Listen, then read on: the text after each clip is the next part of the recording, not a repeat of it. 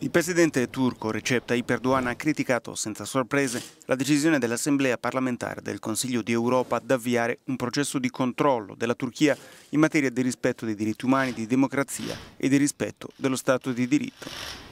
Per quello che l'opposizione definisce il sultano, nessun problema. Siamo pronti a rivedere i rapporti con l'Europa, ha detto. İşte şu Dopo gli ultimi sviluppi, alcuni vanno facendo discorsi sul fatto che l'Unione Europea bloccherebbe i negoziati per l'adesione della Turchia, ha detto Erdogan.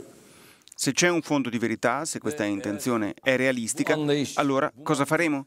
Ovviamente rivedremo la situazione, ha detto.